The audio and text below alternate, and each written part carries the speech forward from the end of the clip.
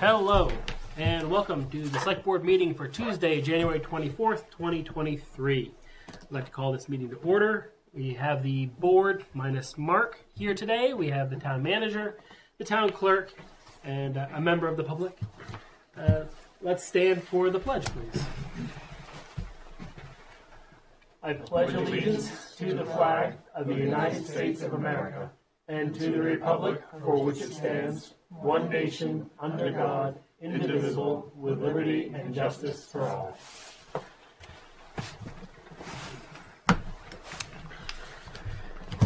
First, we have the approval of the meeting minutes from January 10th, 2023.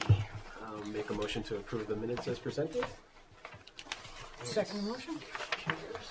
Motion and a second. Any further comment? All those in favor? Took till right now to, get, to realize I got the good chair. Yeah, you you're not falling over. All right, uh, we have our first public comment. Does anybody from the public wish to make a comment? I will close the first public comment. All right. Public hearings and approval. We have medical marijuana cultivation facility license renewal for One Blackmore Road, Williams Greenery. Go ahead. Um, Mr. Stoffin's actually out of the country right now, so that's why he's not in attendance. Um, checked with code. There's no active complaints or violations. Um, this goes for both One Blackmore Road and Two Bow Street, uh, Williams Greenery, the main Cannon Connection. They're under the same uh, ownership, Mr. Stilfen. Are they under the same license? They are two di- two different licenses. Okay. two different licenses. Um, one, the one Blackmore Road, it's a cultivation facility. Two Bow Street is the um, medical caregiver retail storefront that's across the street. around there. Yeah.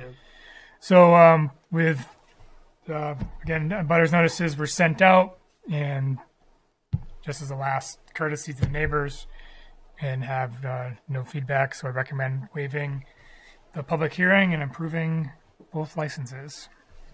Um, so, uh, the Bow Street location. Um, no complaints from neighbors or anything like that? Only complaint, um, no, there's no active complaints. We had a complaint maybe a year and a half ago about um, parking, and we ended up painting some spaces and closing it off and, and designated some spaces. We had some issues where it being too close to the corner or blocking in, and we haven't had that issue in over a year. Okay. How long's, Any other comments? just or how questions? long's the license renewal for? Is it a two-year license? One year. One year. One year. So that so that even complaint was prior to the renewal Yeah, last year. correct. Yeah. Yep.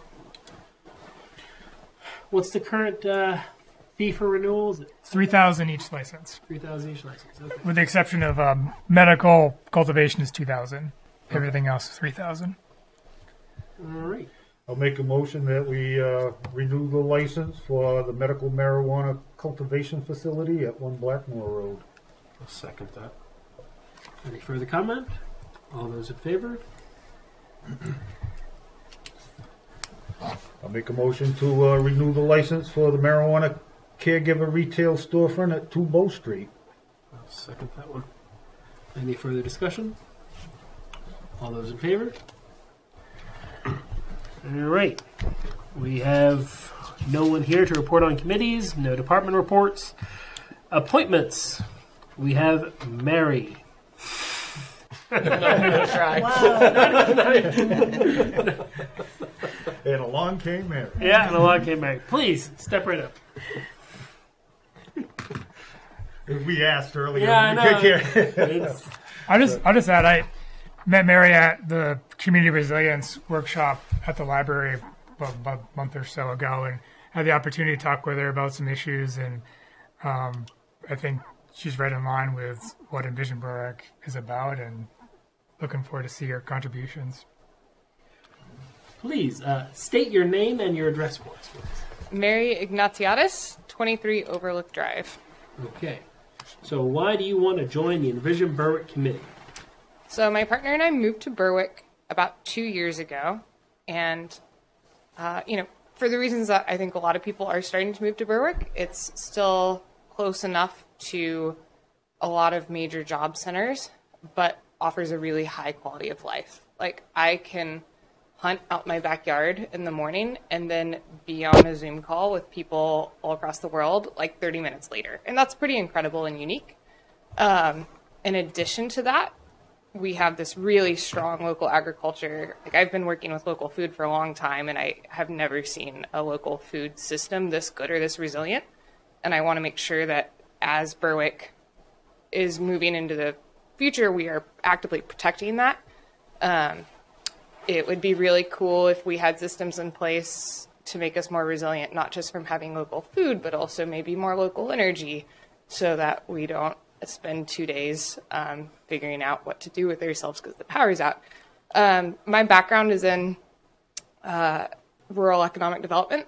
I came to Maine originally to pursue a master's in forest policy and economics up at UMO and uh, worked there looking at rural revitalization up in Millinocket and in those regions around new forest technologies and um, you know new agricultural products and, and new ways of thinking about agriculture are certainly part of that land use equation too.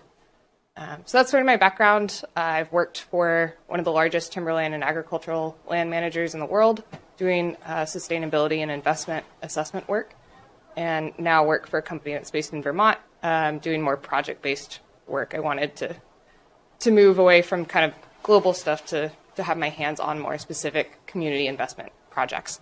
Uh, so that's that's my professional background. That's my research background, and I'd love to bring that to to Berwick. Terrific. Any questions? No. When you talk about sustainable energy, what you mean, like solar? Or yeah, like what if I thought this many times today as I was driving around trying to find a place with Wi-Fi with my dog in the back. Um, you know, like wow, if our house had panels and a battery, like I could be at home right now. that would be neat.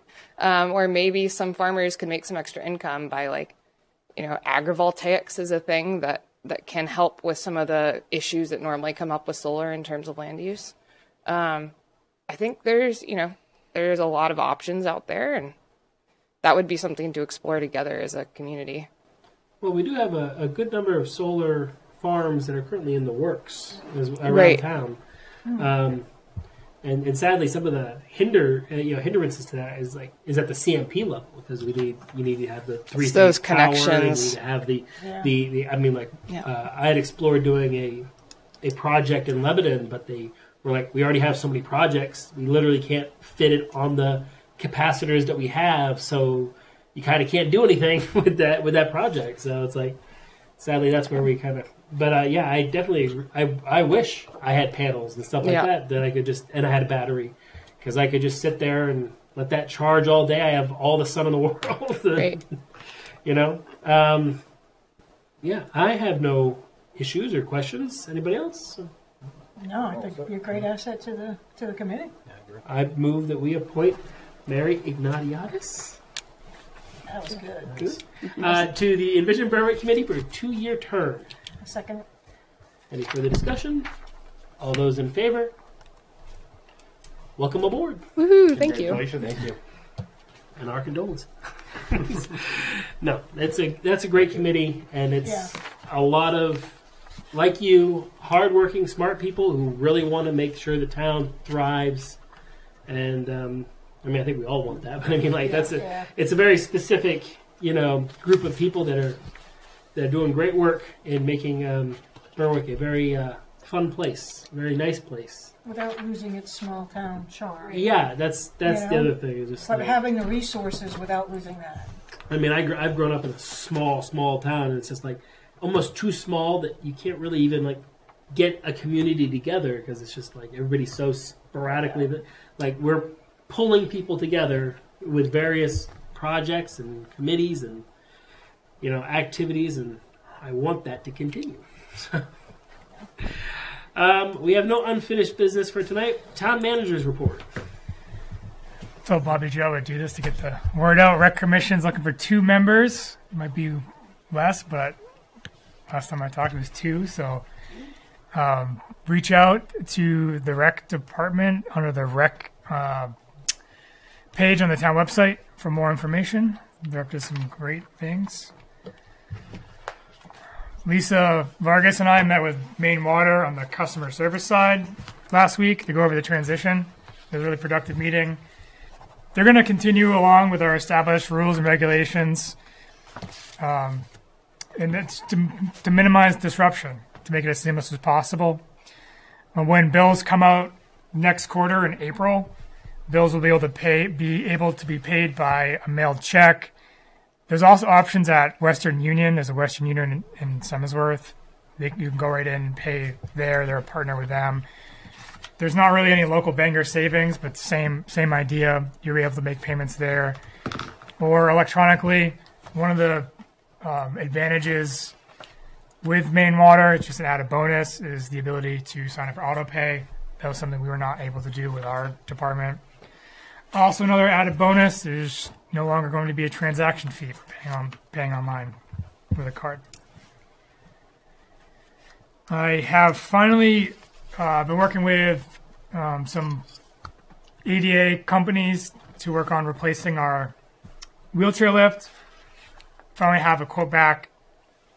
Um, second quote I have, and they're comparable prices. It's eighty-five, or excuse me, thirty-eight thousand five hundred dollars, and the lead time is ten to twelve weeks.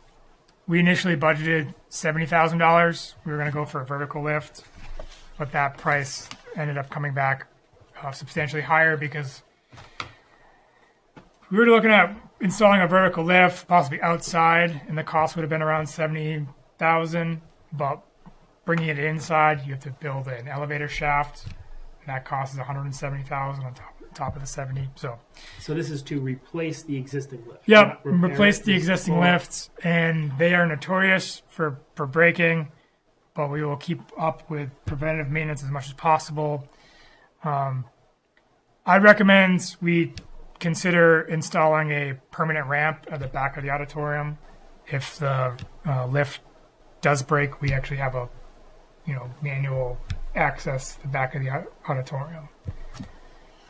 How we gonna access the ramp to the back of the auditorium? You know, that's one of the things we discussed before is, is there's no parking out there, there's no sidewalk to it, so we'd have to take care of all that, you know, also. Yeah, we'd have to make some improvements to Eleanor. That'd be the quickest way. But the other option, you know, worst, I guess the worst case scenario is they have to park and basically do complete 360 around the building to, access it. But there are some things we can do to Eleanor.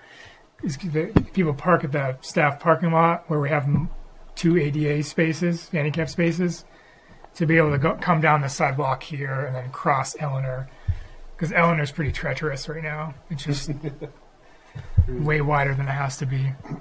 Well, this has been an issue forever. As, as, as, I mean, I don't know when that lift was put in, but apparently it's been broken for at least ten years. Twenty years. It's been it's been a been a major issue. So I'm glad we can finally make progress on it. Um, you said you had, uh, this was the second bid, is, um, do you have a recommendation on one company over the other? I can. I, let me get back to you next meeting, and I, I can Show, show us the show quote you the by apples, the apples, to Yeah, apples, and Yeah. yeah. So, yeah, we need to do something. I was really, I've been badgering them to get us a quote so we can get it. The lead time's 10 to 12 weeks. So I think ultimately, as long as we have it installed by the next vote, that's really where we want to be.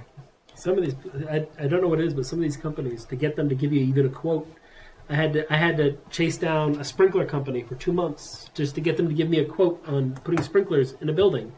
Like that's your job. That's that's the only thing your company does. Just send me an email. That's all it takes. I mean, we know what's going to cost. Yeah. Uh, the Route 4 safety study meets to review. Uh, there's a technical memo that was generated. I actually can share it to the board. Uh, just goes over levels of service and just kind of preliminary study for the Route 4 study. And that meeting will be on the 31st at 1 p.m. It's by Zoom. Um, Mark was is participating in that study. And if you want to participate, just let me know. I can send you the Zoom link. And last thing I have, I've proposed February 23rd for the gun range workshop. North uh, Dwayne at North Berwick's bringing it to the select board tonight. And if, if that's a go, then I'll reach out to the neighbors, reach out to the gun range folks, and um, get us all together for that workshop. Is it going to be held here in Berwick? It'll be held here. Yep. Okay. That it? That's it. Terrific. Um, all right. Any questions for the town manager? All right. Uh, we have no select board communications. We have the approval of accounts payable and payroll warrants. All right. We have the payroll warrant number 47 from uh, January 12th, 2023 for $53.73. We have a payroll warrant number 49 from January 18th, 2023 for $76,632.95. And we have an accounts payable warrant number 49 from January 24th, 2023 in the amount of $348,863.45. I make a motion that we pay our bills. Second.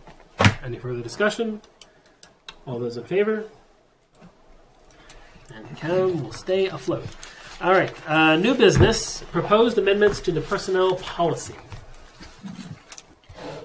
So this change is proposed. Um, I mean, first and foremost, uh, continuity between staff, but uh, brought forward in a, I guess, more an emergent manner because there's some issues with our Trio software. The Trio software is built to the Maine PERS specification, where the retiree hire five percent contributions report, reported under the employer not the hmm. employee. So the finance department manually modifies a Trio generated file each time to have it come from the employee rather than employer. So the recent issue that has happened is yes, Trio can do many things. Uh, it, it just has issues where there's this one has one code for the retiree hire at two different percentages. And uh, last meeting, we talked about what the financial impact for that.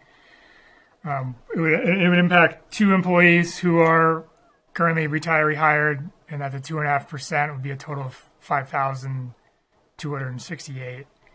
And uh, if they are still in the Maine PERS program, we would be contributing rather than two point five percent, it'd be fourteen point eight percent, and that cost would be thirty-one thousand one hundred eighty-six dollars. Again, I mentioned this with the police contract. Obviously, right now we're paying zero, zero percent. So the cost is currently zero. I do have a Go ahead. question. So the people that are listed here, both of them will fall into the police department. So th- there's the, fi- just so I understand it, there's a five percent fee from Maine PERS. And the town is deciding that we're not gonna pay the full five percent, we're gonna split it with the employee. Correct. So we'll be contributing the point five, and the employee will contribute two point five, which is a lot of standard practice I've seen in the state. Um, That still saves the town considerable amount of money, because paying two point five percent for these employees is a lot cheaper than paying the full percentage to Maine PERS if they were still actively engaged in Maine PERS. Is that correct? Correct. Okay.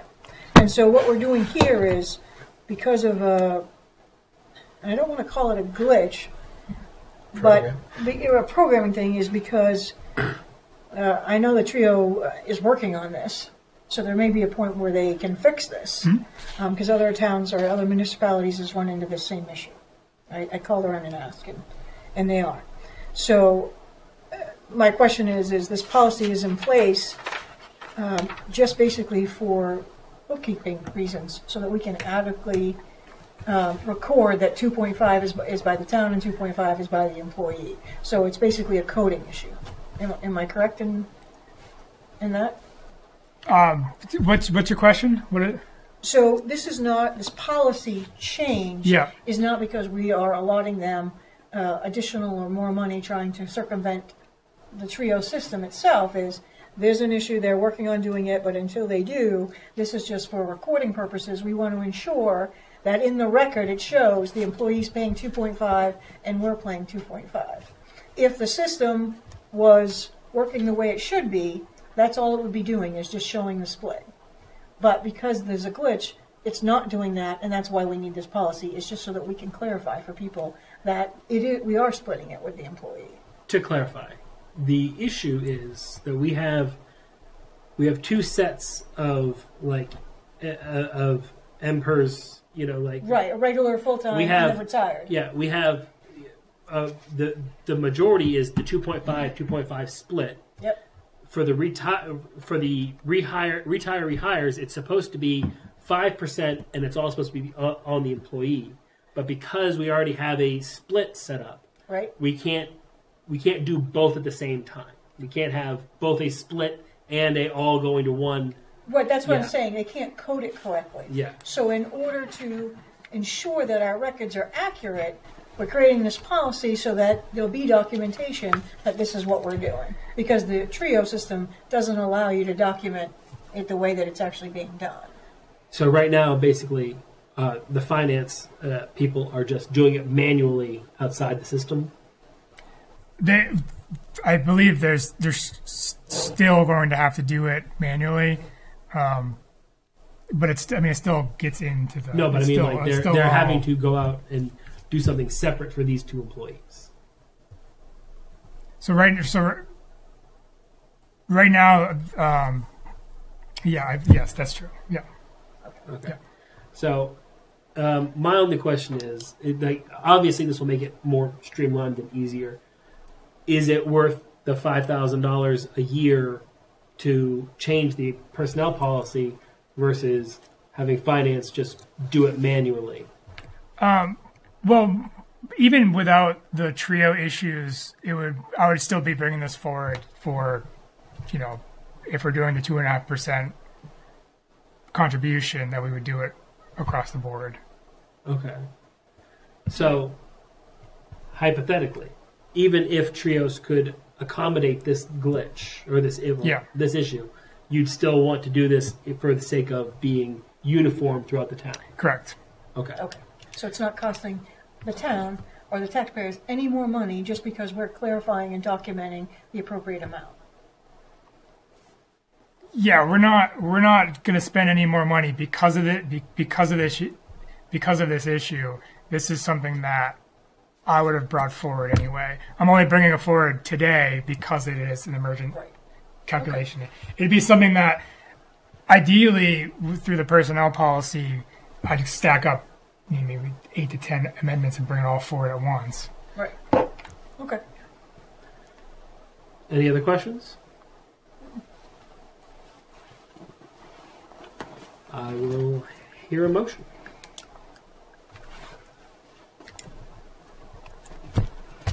I make a motion that we approve the proposed amended retire, rehire, section 3.9, retired Maine PERS rehire policy as presented by the town manager. I will second the, the, the motion. Any further discussion? Questions? Comments? Just to be, just to be clear, it's not gonna cost the town any more money than what we're doing now. Well, well, so it'll be it'll be five thousand dollars more a year. It will be, so basically, these two employees are getting a raise. Wait, wait, okay, back up. I thought that's what I asked. Because you said that they were gonna do this anyways. You just couldn't doc, that's what I was trying to ask you is, is this costing the town any more money, or are we just changing the policy so that we can accurately document This it? is data. go- Yeah, it's no. This, Because, because are they already Me- getting this? Are they already, get- is the split already occurring? no, it's the two and a half. per- The two and a half percent. Okay. The two and a half percent was for the, the Okay. two and a half. Two and a half percent that's already in, in existence is for the MAP contract police, But not for these individuals? not for anyone that's under the personnel policy. Not for not anybody who's contract. retired and rehired. That is not in that particular union where it's Yeah. clarified before. not So union. the This is non-union. non-union. yeah. So- Okay, so that is different. So they, so it is an additional amount of money. It is.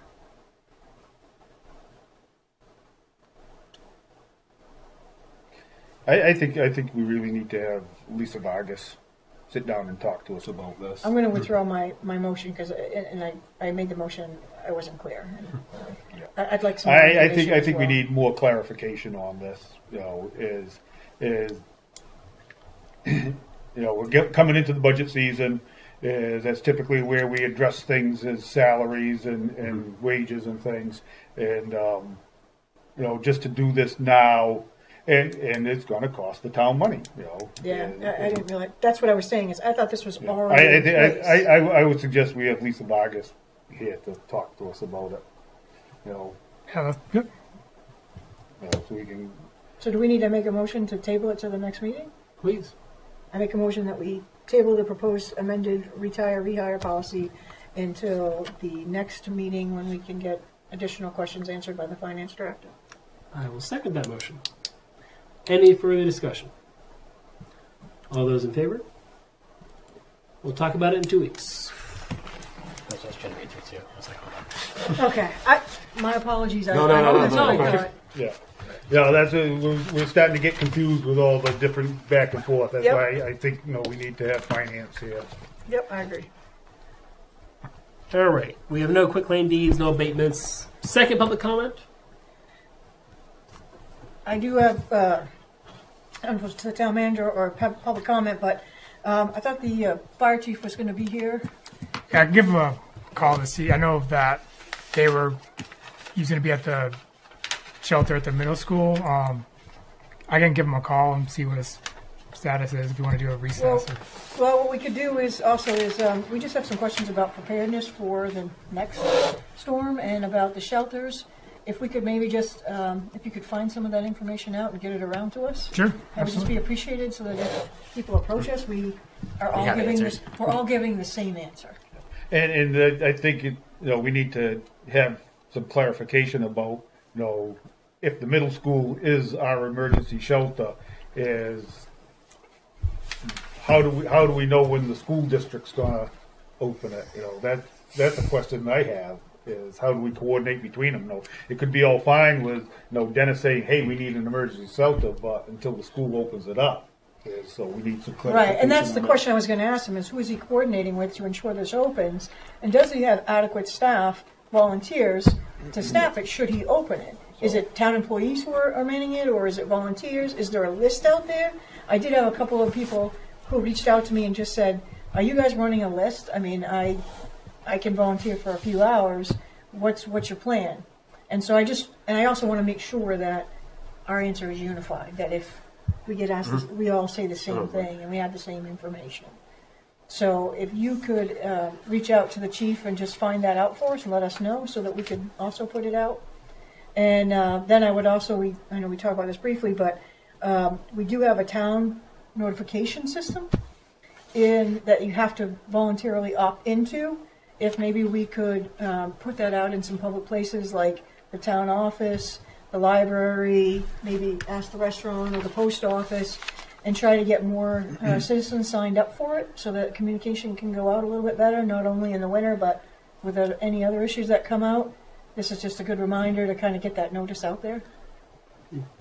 Get the schools involved to send kids home with a flyer. Yeah, that might not be a bad idea either. Um, I don't know how many. My concern is we have a lot of elderly, and and so maybe even see if we can't drop off some flyers to those little pockets um, and have people fill it out. Maybe we get some volunteers to help with that as well. Just I just want to make sure that everybody gets notified that we do have shelters and when they are and aren't open. And who is the who's the best contact person? Because I, I wondered that is I'm reaching out to you. Should I have been reaching out to the chief? Should I have been who is the person that we should be reaching out to if we get inquiries? I think it, both. Ultimately, where that dynamic in, in times of an emergency coming down, uh, I think reaching out to both is appropriate. Okay. If it's an email, CC. If there's a if there's something, I mean, if there's something, if you got to make one call, you can only make one call. You probably you know the emergency management director is who I would recommend. But you know, if it's a text or email, email us both. All right. We have no executive session. Any other business non-agenda items? Nope, took it from me. Maybe that's where it should have gone. Sorry. Doesn't matter. It's all, and you just started a little bit early. That's all. Now, um, yeah, obviously the last few days were really tough on a lot of people. Um, I, I haven't been without power that long since you know ice storm. So you know, it takes all you know everybody working together to get through through the things that we did, and a lot of lost power and lost internet, lost work, lost school. So, but we will rebound. Um, And, and if I could just say too, we talked earlier about the type of community that we have. So if you know your neighbors and maybe there's an elderly person who's living alone or a, an elderly couple, um, you know, reach out, stop in, knock on the door, and just check in on them, see if they need anything. Would encourage that. Um, we did it on our street. Um, just, you know, just to kind of check in on, on one another because sometimes it is hard to get the information around. But just see if they need anything, and then if we have to, we'll contact you to see what we can do for them. Uh, it may be early, but we are starting the budget process, and we are also we have an election in June. And starting in June, these meetings will take place on the first and third of the month, uh, uh, of Tuesday of every month. So set your calendars, get ready for it. The change is coming. Um, don't want anybody to complain that they didn't know what was happening. Don't want anybody to say that. Uh, anything else? Motion to adjourn? Second. All those in favor? Let's go. Thank you, everybody. Have a good night. Stay warm and safe. Yeah. Stay safe.